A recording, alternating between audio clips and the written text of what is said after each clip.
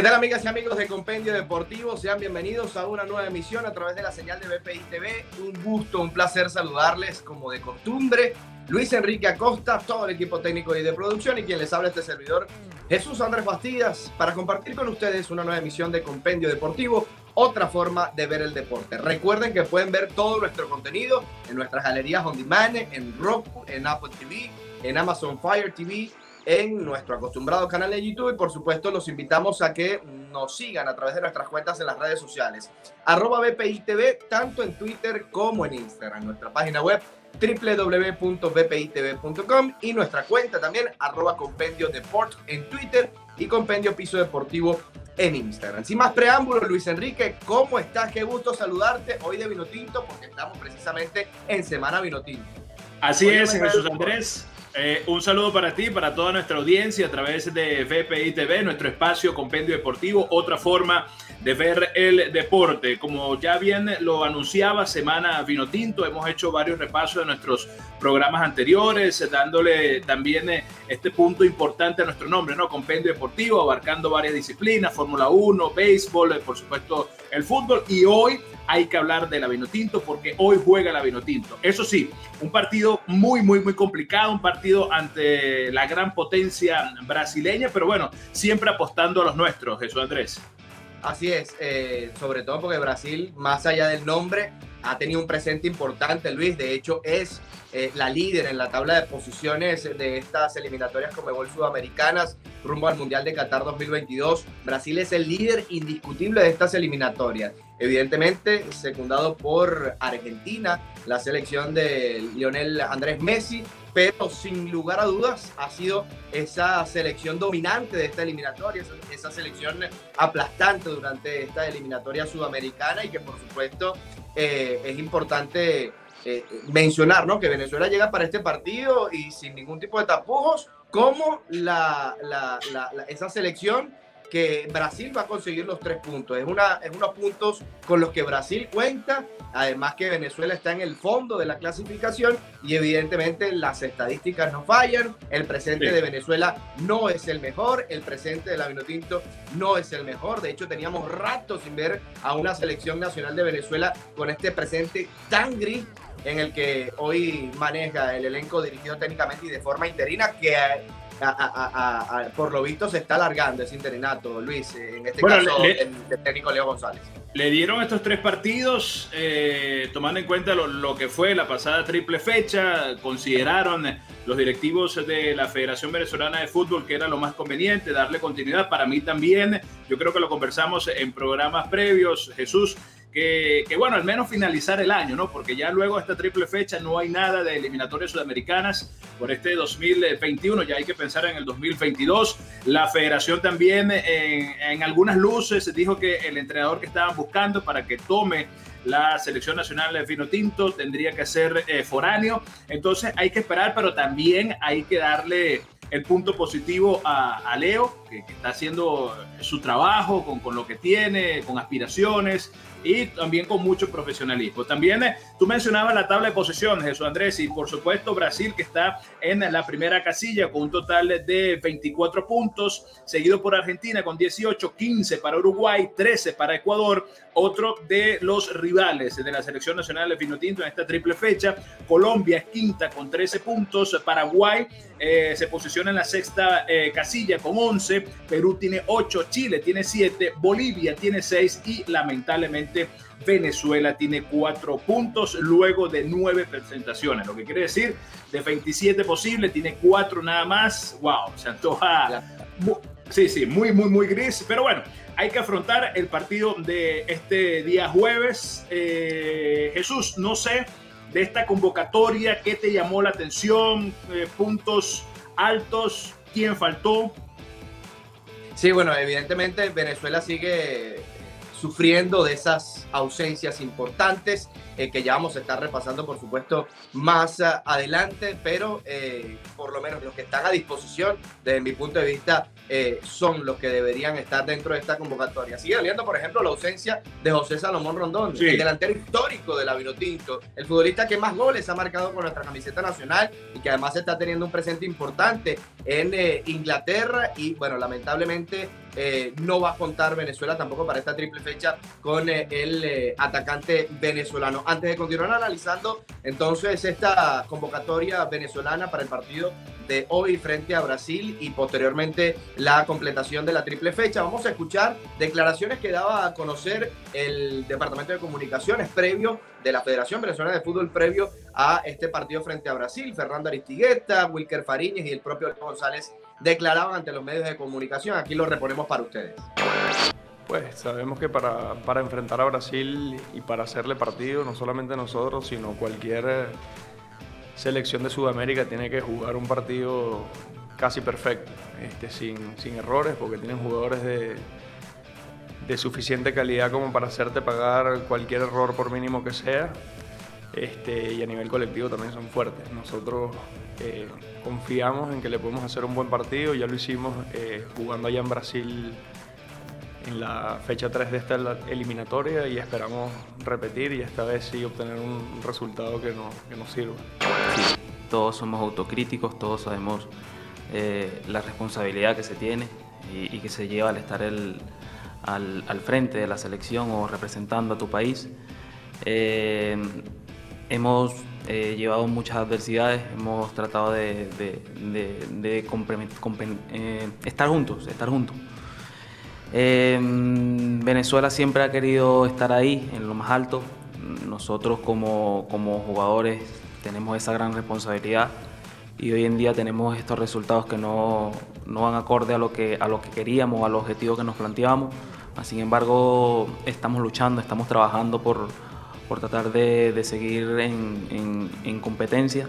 Eh, para toda Venezuela sabemos que, que, es muy triste, para, al igual que nosotros que, que, competimos, pero vamos a luchar hasta el final, vamos a seguir creciendo, vamos a seguir eh, creyendo en nosotros, creyendo en que, en que se puede lograr y, y mm, nunca perderemos la esperanza.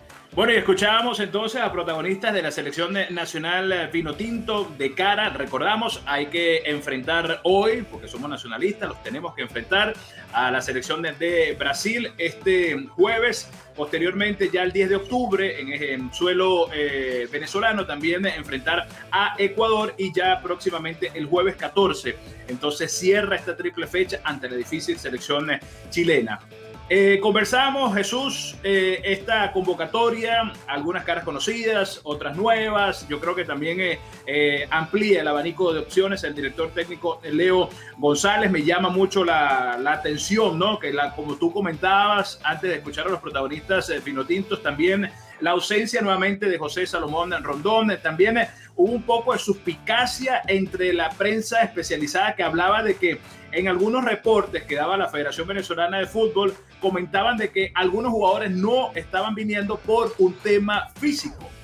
Y vimos a estos jugadores ver acción este fin de semana con sus respectivos equipos. Luego sale nuevamente la federación que ellos simplemente están compartiendo la información que generan los equipos claro. de que están militando fuera de las fronteras venezolanas. ¿Qué opinión le merece esto? ¿Tú crees que hay un poco de suspicacia? ¿El jugador tal vez se está quitando? ¿Cómo lo ves tú?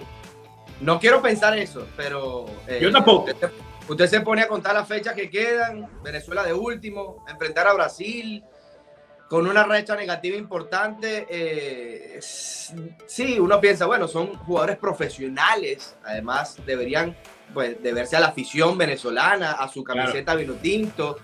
Pero si, el, si los jugadores están teniendo un buen presente, están teniendo continuidad en sus, en sus respectivos clubes, el caso, por ejemplo, de Salomón puntualmente es eh, el equipo le pidió, se conoció que el equipo le pidió a la Federación Venezolana de Fútbol no convocarlo porque recordar que cuando va a Venezuela y quiera volver a ingresar a Inglaterra, claro. tiene que tirarse. Es complejo, días. es complejo con la Premier League tiene que tirarse 15 días de, de, cuarentena, entonces no podría tener la continuidad en el club. Insisto, Además que el Everton más... tiene piezas en el ataque que tienen rato lesionadas, el propio Richarlison, que este jugador brasileño que tampoco irá presente con la selección canareña, gracias a Dios, para enfrentar a Venezuela. Sí, es en el caso puntualmente de, José Salomón Rondón. Además que, como te comento, jugó un gran partido recientemente, eh, previo a en la jornada anterior de la Premier League de Inglaterra, disputando todo el partido completo. Y, casos como ese son los que, desde mi punto de vista, eh, yo creo que pudieran ser factibles. En el caso de Miquel Villanueva, por ejemplo, eh, él mismo publicaba a través de sus cuentas en las redes sociales que efectivamente este estaba pasando por un proceso de recuperación en una de sus piernas y eh, uno, a, mí me llama la atención, ¿no? Que, que, el propio jugador tenga que mostrar claro. a través de sus redes sociales si estoy lesionado y por eso no voy a la selección, a la convocatoria.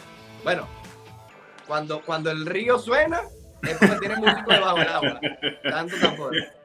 Bueno, sí, de, verdad que eh, causa un poco de, suspicacia, pero también hay que entender que últimamente los jugadores como que han salido a, dar la cara porque sienten la presión, porque ahora mismo todo con las redes sociales, cualquier Caso Osorio, Luis, hizo un live. Ajá, Osorio porque de verdad se sentía, y ojo, yo el tema de Osorio sí digo, el tipo salió mal del partido, mal, de verdad, y, y de hecho cuando él hace el live estaba no, no enyesado, pero sí ya tenía este sistema para proteger la pierna completamente, más allá de que la contusión fue en el, en el tobillo. Pero claro, lo que iba en mi comentario es que ahora mismo la, la, afición puede llegar a ser despiadada. Porque en cualquier publicación, cualquier persona se, se, mete, pone un comentario, que eres un pecho frío, que no quieres defender a tu patria. Y claro, esto causa un dolor, causa un drama en el jugador. Entonces hay que manejar todo esto, ¿no? Entender un poco la afición, entender un poco al jugador pero claro, lo que usted dice también yo creo que e, e, es el punto que analizar. Claro, el jugador podría decir, mira, ya la vino tinto, no tiene nada que buscar, me voy a tirar ese viaje. Entonces, no queremos acá, no estamos diciendo que los jugadores se están quitando para nada, sino simplemente estamos analizando cada uno de los vértices de esta situación. Y así como mencionamos esos casos, también mencionamos el caso del capitán Tomás Rincón. Le pongo eh, uno de los sacrificios que evidentemente manejan no solamente los futbolistas, sino ese es otro que yo no entiendo. ¿Por qué criticar a Salomón Rondón? ¿Por qué criticar a Tomás Rincón?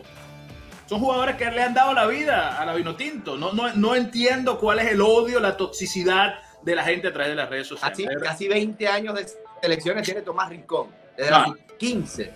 No, no. Entonces, la gente tiene memoria corta, memoria corta y, él lo publicaba a través de su cuenta de redes sociales también. Se está perdiendo el cumpleaños, por ejemplo, de su hija menor por tanta convocatoria de vino tinto. Y esto no es que eh, eh, es nuevo, por ejemplo. No, porque, bueno, son los sacrificios que, que tienen que tener los deportistas, y en este caso los futbolistas, pero ese tipo de cosas también hay que, hay que valorarlas. Esos aspectos positivos, que el capitán está asumiendo el liderazgo, el capitán está demostrando, bueno, sí estoy comprometido.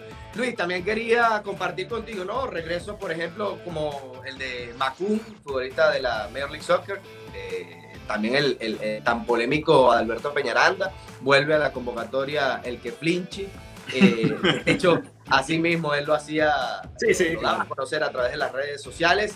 Y, bueno, son aspectos interesantes, sobre todo en el frente del ataque, que tanta ausencia tiene Venezuela y tanto gol le falta a la Vinotinto.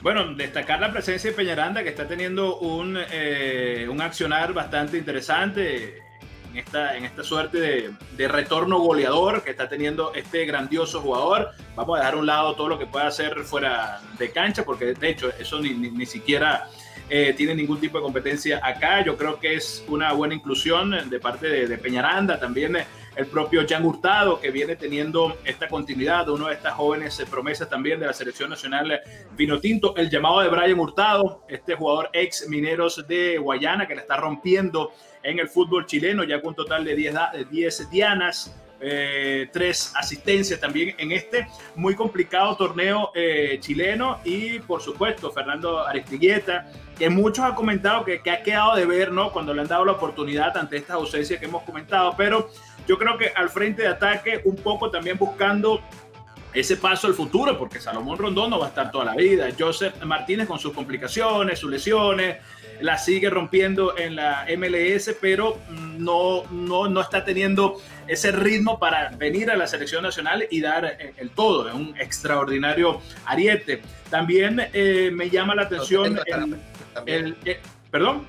Soteldo también, que estará presente. Soteldo, me llama la atención lo de Darwin Machís, porque es cierto que con el Granada ha tenido continuidad. De hecho, todo el partido contra el Barcelona hace dos fechas lo disputa, pero también ha tenido molestias físicas, que cualquier otro hubiese pedido no, no estar y está. Darwin Machís. Así que yo creo que al frente de ataque eh, Venezuela, claro, para enfrentar a, Brasil, siempre sin ningún tipo de tapujos, sin ningún tipo de, de miedos, entendiendo que es una eh, selección pletórica que está teniendo una eliminatoria brutal, pero hay que salir a jugar, hay que salir a jugar, hay que salir a, dejar el pellejo y, y considero que al menos este partido de Brasil puede ser ideal para hacer una mezcolanza, ¿no? Dentro de ya jugadores como Roberto Rosales, es evidente que nadie le va a quitar allí el arco a Wilker Fariñez, eh, también eh, Tomás Rincón, que son, digamos, lo demás experiencia y tratar de eh, hacer esta mezcolanza con estos jugadores de, de, la nueva camada de la selección vinotinta. Venezuela tiene que buscar competir contra Brasil. Sí, claro. y, y para eso, al menos en el frente del ataque, que es lo que tú bien comentas, ha mejorado con relación o, en comparación con los partidos anteriores de eliminatorias. Eso es un aspecto positivo que rescatar. Sin embargo, la zona defensiva sigue siendo ese, ese asterisco, ese punto pendiente. Y eh, volverías a atacar con, con dos hombres eh, sí. delanteros. Sí, yo, yo ciertamente, claro, va, a ser una decisión bien complicada la, la, que tendrá que tomar ahora Leo González, porque mencionamos acá que tiene a Sergio Córdoba, Brian Hurtado, también eh, el propio Eric Ramírez, que ya lo utilizó en, la pasada triple fecha, también Fernando Aristigueta y Jan Hurtado.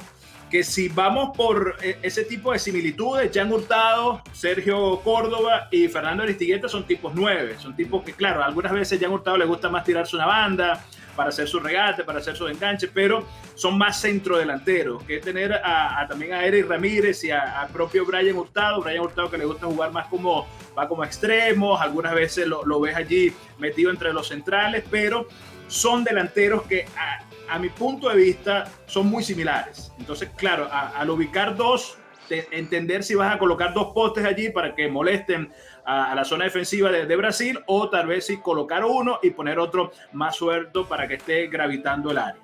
Y para hacer la comparación, aunque sean odiosas, recordamos por ejemplo en el pasado a eh, el Cafuari Mendy, Giancarlo Maldonado, eran futbolistas que eh, eh, eran de esa posición y cada pelota que pasaba por ahí, al menos en, algún partido, pues tenían esa, esa solvencia ofensiva, ese, ese ataque bien atinado y podían marcar gran cantidad de goles, al menos en partidos eh, importantes. Y yo creo que en, con la ausencia de José Salomón Rondón tienen que salir algunos de estos chamos que pueda ganar esa continuidad de goles, porque sí, por ejemplo, Eric Ramírez está viendo más minutos desde la jornada anterior con Venezuela. Pero mientras no empiecen a caer los goles, eh, van a seguir, va a tener que seguir el cuerpo técnico probando a quién deja. Entonces, ese primer delantero que empieza a tener continuidad y que empieza a hacer goles, eh, yo creo que va a ser el que termine siendo ese, ese gran sustituto de José Salomón Rondón eh, en el ataque, Luis.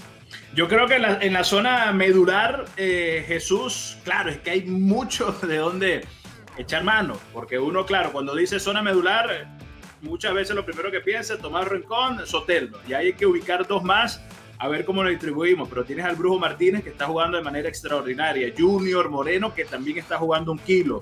Eh, tienes esa participación porque si traes a Peñaranda, esto te indica que debes darle al menos medio tiempo. No sé si será ante Brasil, no sé si colocarlo contra Ecuador. Tienes el propio Darwin Machís.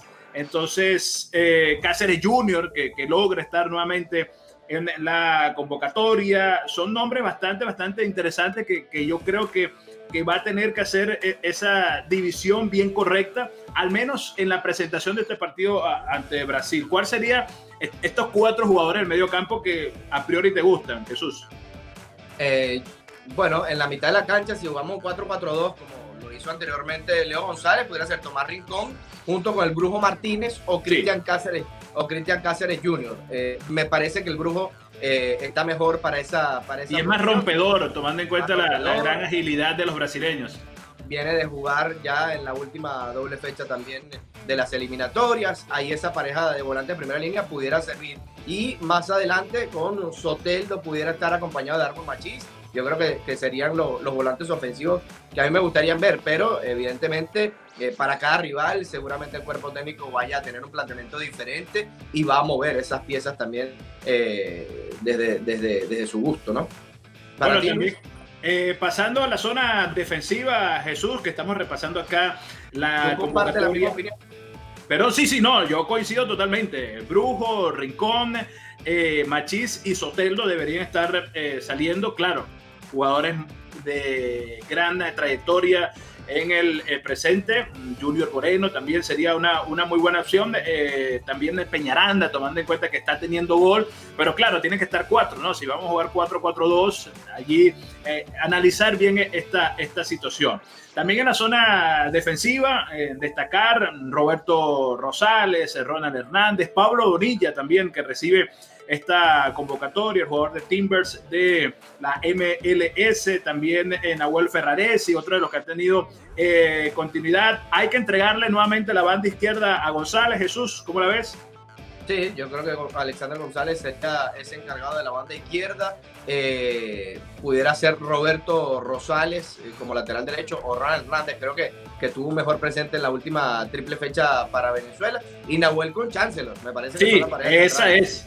Sí, sí, esa es. Nahuel con Chancellor, además que, que ambos están eh, eh, teniendo un gran presente también, al igual que como ya mencionaba, de los jugadores eh, en esa zona de mediocampo. Yo creo que ya para el arco colocar, colocar a Fariñas, claro, que, que se antoja complicado de Graterol, todo lo que está teniendo también en en su paso por el fútbol extranjero. También se antoja un tanto odioso de que, claro, siempre sea eh, Fariñez, pero es el portero titular de la selección nacional de Pinotinto. Entonces, a grandes luces, esta sería la selección para enfrentar hoy a la delegación de Brasil.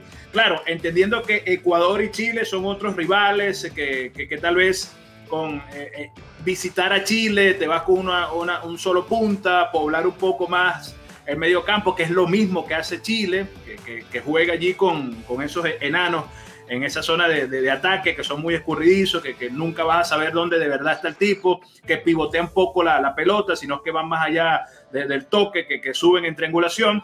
Y yo creo que, es una triple fecha bastante interesante para, para determinar si Leo está a, la altura, pues, más allá de que... Hay posibilidad, Luis, ya para ir cerrando, hay posibilidad de que Venezuela consiga tres puntos en esta triple fecha. Sí, yo creo que sí, yo creo que el, partido, el partido sobre todo contra Ecuador, el partido contra Ecuador no, no luce totalmente desprendido, Ecuador que claro, arranca la eliminatoria de una manera extraordinaria, pero después que fue bajando un poco el nivel, yo confío, yo confío tres puntos, cuidado si no cuatro para la selección nacional vino tinto. Sí, debo ser muy honesto, me, me cuesta eh, creer que, que, se le vaya a sacar un punto a Brasil, eh, sobre todo por el, gran momento que está teniendo Brasil, ya de hace rato dieron su, su convocatoria, eh, no se guardó nada a Tite, a los tipos que podía convocar, los, los trae, a sus jugadores de de alta esfera, así que el partido contra Brasil sí me parece un poquito más complicado, pero contra Ecuador y Chile creo que se puede hacer eh, gran, gran confrontación allí para sumar, ¿no? Que, es lo que tú dices, competir, hay que cerrar esta eliminatoria, más allá de que el, sueño Qatar ya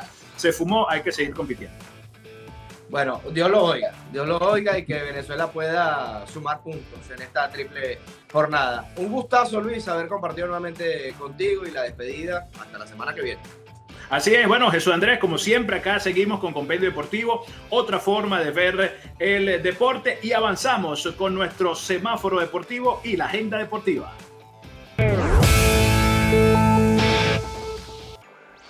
En nuestra luz roja, las jugadoras de la Vinotinto femenina denunciaron acosos por parte del ex seleccionador Kenneth Ceremeta.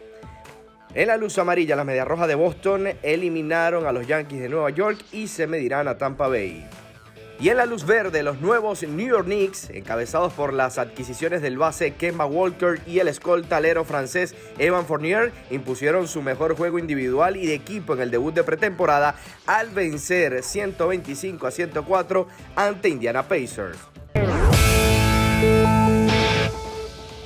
Repasamos nuestra agenda deportiva este jueves. La Vinotinto enfrenta a Brasil, Paraguay, Argentina, Uruguay, Colombia, Ecuador a Bolivia y Perú frente a Chile. En las grandes ligas, las Medias Blancas se enfrentarán a los Astros de Houston, Rice frente a Boston y el viernes los Bravos enfrentarán a los Cerveceros de Milwaukee. El viernes en la NBA, Bucks frente a los Nets de Brooklyn, Clippers frente a Mavericks, Pacers de Indiana chocarán frente a los Cleveland Cavaliers y el día sábado los Raptors de Toronto se medirán frente a los Celtics, mientras que Wizards hará lo propio frente a New York Knicks. Esto en el mejor baloncesto del mundo en la jornada de este viernes en la pretemporada. El día domingo, en las eliminatorias sudamericanas, Colombia enfrenta a Brasil, Paraguay, Chile, Argentina, Uruguay y Venezuela se medirá frente a Ecuador.